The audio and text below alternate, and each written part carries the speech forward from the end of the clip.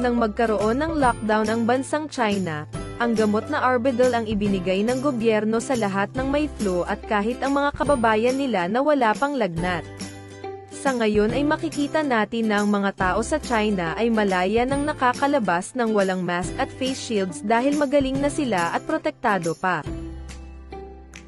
Ang Arbidol ay nagmula at ginagamit na sa Russia, China, Amerika, Europa at marami pang ibang bansa.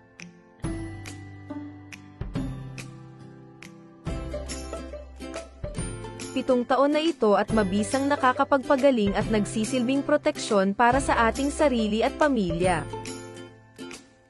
Ang gamot na ito ay ginagamit na din sa mga iba't ibang ospital dito sa Metro Manila.